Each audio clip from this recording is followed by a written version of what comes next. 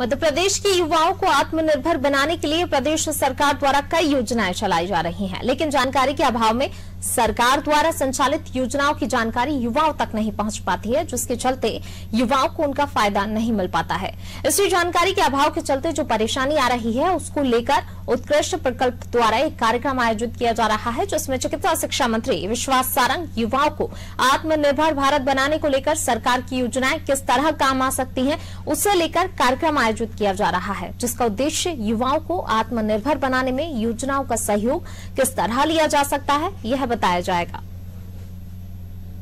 कृषि प्रकल्प हमारी संस्था के माध्यम से आत्मनिर्भर मध्य प्रदेश को लेकर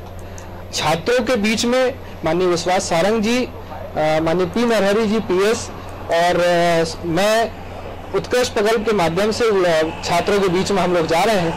एक एक छात्र आत्मनिर्भर बने एक एक छात्र को सरकार की क्या योजनाओं का लाभ मिल सकता है, इसको लेकर आगे बढ़ेंगे और उसको दिशा निर्देश देने के लिए सरकार की क्या योजना है, इसको लेकर हम छात्रों के बीच में जाएँगे। निश्चित ही एक एक छात्र जब आत्मनिर्भर बनेगा तो मध्य प्रदेश और भारत देश भी आत्मनिर्भर बनेगा, ऐसी हमारी सोच है। कल उत्कृष्ट